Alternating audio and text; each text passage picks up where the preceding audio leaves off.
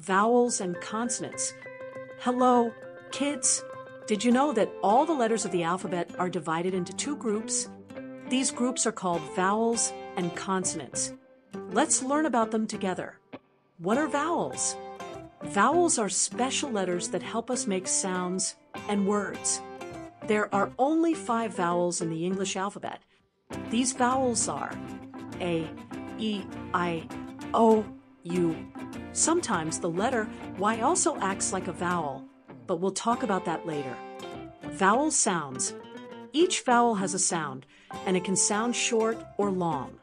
For example, A. Short sound, as in cat, long sound, as in cake. E. Short sound as in bed, long sound as in beat.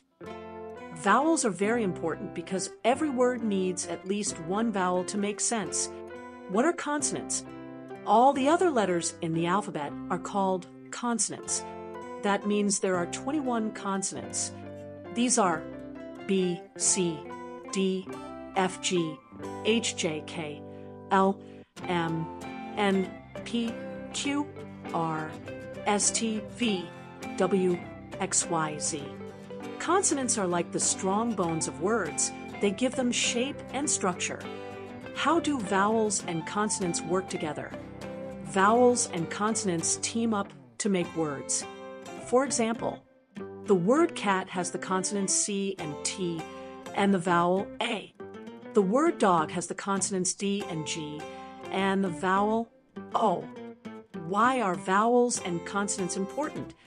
Vowels help us speak clearly and make our words sound nice. Consonants help us build words and make them strong. Together, they create every word we read, write, and say. Fun fact without vowels, it would be hard to say words.